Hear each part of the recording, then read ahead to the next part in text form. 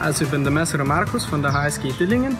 Wir sind eine Hexen- und Silet-Gemeinschaft mit neun Fahrzeugen, neunmal Glas Jaguar. Und wir haben im ersten Schnitt die Möglichkeit gehabt, die neue Camper Pickup zum Testen.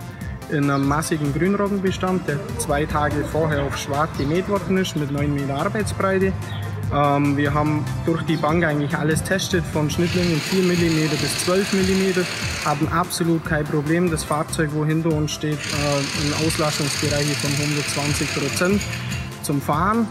Ähm, auch mal ein Shopper von einem Mähwerk, dass man größere, einen größeren Haufen dran hat etc. war kein Problem im Vergleich zu anderen Pickups, die wir hier auf dem Hof haben.